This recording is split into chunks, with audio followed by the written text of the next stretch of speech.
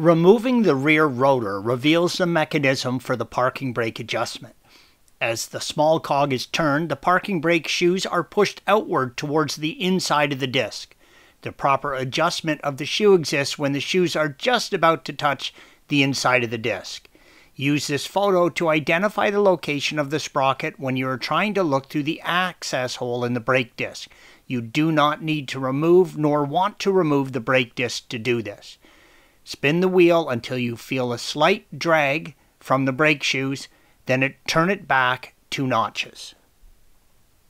Pulling up the carpet reveals the cable equalizer check holes shown by the arrows. It is important that the equalizer be level as shown here. Otherwise, your parking brakes will not work properly. If the equalizer is not level, then you will need to adjust the parking brake cables where they attach to the rear of the brake assembly.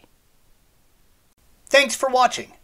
Be sure to subscribe to our channel and check out another video in this series.